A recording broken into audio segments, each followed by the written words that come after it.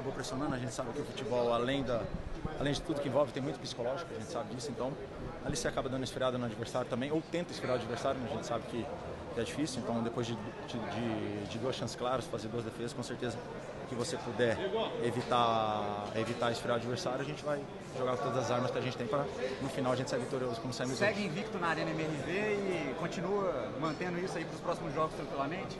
Tranquilamente não, né? A gente sabe que, que quanto mais você vai vencendo, todos sabem da história do, do Galo, é, sempre foi muito forte dentro da sua casa, jogando Mineirão, Independência. Agora hoje literalmente a gente tem a nossa casa, então estamos fazendo uma, um começo de livro muito bonito aqui na nossa arena, três jogos, três vitórias. Então a gente continue sempre jogando aqui, procurando vencer os jogos para continuar sendo muito forte, que é a história do Galo. No final do jogo você procurou ali o Mariano no, no meio de campo. O que, que vocês estavam falando ali, ajustando ali, que você vê tudo do lado de trás?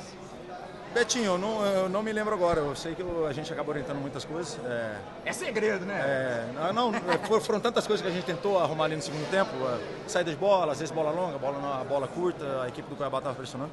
Mas provavelmente foi alguma coisa do jogo, mais a saída de bola, mais uma marcação mesmo que a gente sabia que nos, nos, nos últimos minutos a equipe deles iriam jogar tudo ou nada. Fica um jogo perigoso quando você faz 1x0, acaba não conseguindo matar o jogo. Depois dos 40 minutos fica um jogo perigoso.